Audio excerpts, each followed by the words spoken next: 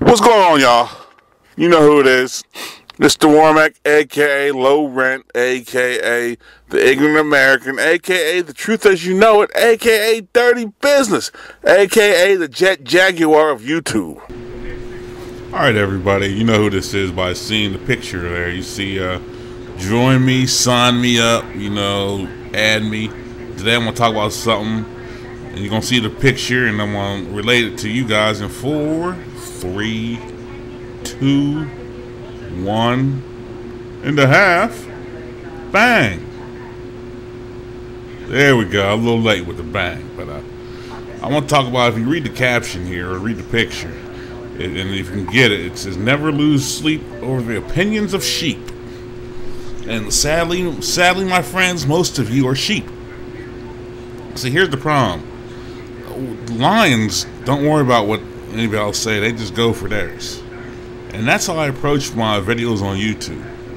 I don't care what, uh, I hate to say this, I don't care what my, some family members, some friends, or anybody else thinks. I have a, I have a thought process and I will say what's on my mind in these videos. It may not be popular opinion, but in America, the truth is never a popular opinion. So I may say, like, I my my stance on homosexuality, like, uh, or like when I talk to quote unquote pro black people who feel the need to be interracially dating and marriage or homosexuality, I, I, I laugh at these people, I laugh at these jerk offs. I mean, I have no nothing wrong with interracially dating, but when you're pro race and you're doing that, you just sound so. It's like you make up. You're just making up shit now. But uh, when I do these videos, I know sometimes my opinion may not be unpopular, but there's a lot of people who have a lot of unpopular opinions like mine. And slowly and surely, this country is waking up. Slowly, I'm saying.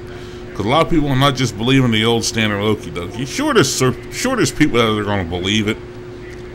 No, but they're ignorant. And if you look at it, most people that believe everything, somehow, some way, they're dependent upon the government. The government got them doing something. Or they're, they're beholden to the government. I mean, I have no problem with the government.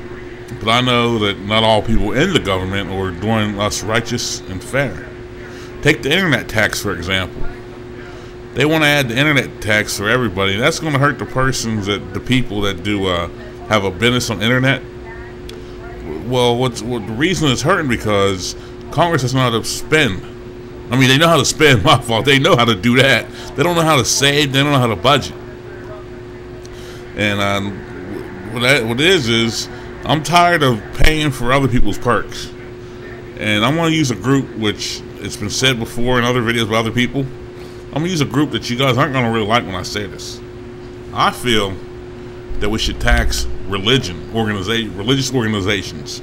Now, before you go off and you're crying, whining, and you're high moral ground, I don't mean taxing your church. I don't mean taxing the church that has like 10 people there. I mean taxing the organizations that are corporate or, or similar to corporate corporations. Look at the Mormons. Look at the Catholic Church. Look at the Protestants. Look at the overall Baptist Church. A lot of these have associations and organizations that are pretty much corporate like.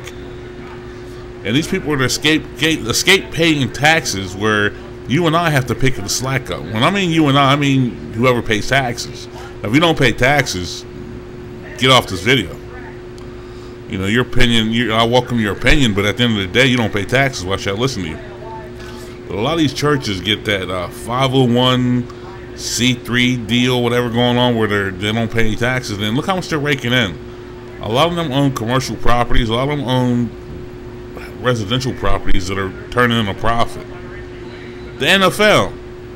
The NFL is a non-profit organization. I mean, go figure the United Way is a non-profit organization, even though they're uh, fat cats driving a. Uh, you have fat cats driving Mercedes. You have lots of problems. I, I just I, know, I shouldn't be saying all this, but uh, it's the truth. It's the truth. We should be a lot. We should investigate all these quote unquote non-profits to see if they really are nonprofit.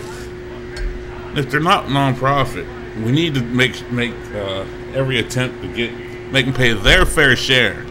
Now, excuse me if I'm I'm going going in and out because I'm watching football. I hate to say this, I'm watching football. I'm editing a video and I'm talking. I, I, I seen this come up and I saw I seeing the internet tax come up and I just wanted to talk about it, but I'm leading in, in other things. So let me go on.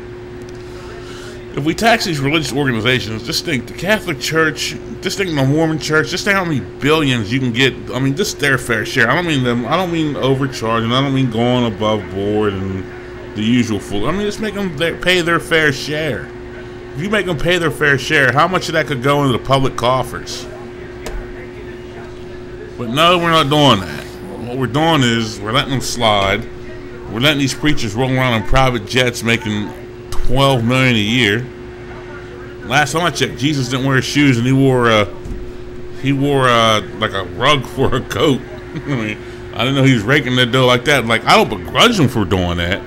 What I do begrudge them for is that they're not they're not paying their fair share in taxes. But a lot of you will not stand up for this because A, you're too Jesus freakery or whatever religious you are. And B, a lot of you just a lot of you are just sheep.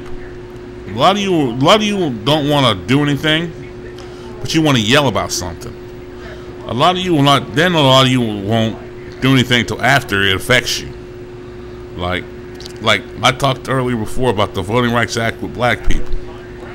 Now, a lot, I know this, for, you know, this is going to happen. It always happens. What's going to happen is the voting rights are going to be denied because maybe you forgot, maybe you forgot to check off a box, and they're to come back and say, "Well, this is racist," you know. Well, then I'm thinking to myself, "Well, did you do what they say?" Well, no. Well, why not? Well, I didn't know. If, it, if it's pertaining to you, and you know when the new Jordans come out, but you don't know what you need to do to vote, whose fault's that? It's not racist if you're ignorant and you're stupid. If you're ignorant and you're stupid, well, that's America. See, when I, when I when I talk about something, I go in on. I don't care what color you are. I don't care what creed you are. I don't care what religion you are. I don't care what what what your sexual preference is. I don't care. Look, I don't I don't care about too many things. Like I won't go in on children. I won't go on the, gravely ill. And when I mean gravely ill, I don't mean fibromyalgia because I can I can go in on that. I don't go in on the people who dedicated their life to this country. I don't go in. There's certain things I just don't talk about. I won't, I won't go in on people's family because that's none of my business, and that that's what men don't do. That I'm not gonna come here on the internet and call you a name, call you a bitch. I'm not gonna call you a, a homo, a fag, a nigger, a spick, a kike. I'm not gonna call you these names because that's not my intent and my purpose. If you have to, if you feel the need to call me that, well, oh, well, that's what you have to do. That just shows me that, well, I just don't have to, you know, deal with you anymore. The fact remains is a lot of you want me to get all upset, and, you, and, and your and your deflection points to my point are, well, what about so and so? I'm not worried about what so and so does. I'm worried about what uh, me and mine are doing. And that's what a lot of you have problems with. Or a lot of you guys won't call out the BS that you see going on, but you won't call out someone else's BS. Look, there's been times where, well, more than once, that I had to call out BS in my own camp. There's been times when I was called out on BS. Did I like it? No, but I listened. You want to know why? Because that's what you're supposed to do. You're supposed to live your life to improve, not to fall back. And unfortunately, a, a lot of my community is falling back. And, and, and, all these holes that are popping up, it reminds me of the black community because sooner or later we're going to get swallowed up if we don't do something about it. So that's just, just my little going off on a tangent here like I said, I just saw this thing about the internet tax. It was supposed to be about the internet tax, but I delved into a lot of topics. So at the end of the, at the end of the proverbial day, I don't care about how you feel about what I say. I'm not harming anybody with my opinions. I'm not hurting. Well, if I'm hurting you with my opinion, you gotta look at where my opinion's coming from. If you're doing something stupid, you should be mad. But at the end of the proverbial day, it's just my opinion. It's nothing for you to lose lose sleep over. It's nothing for you to feel all salty about. Just say, yeah, fuck that guy and move on. Alright? Later. Peace.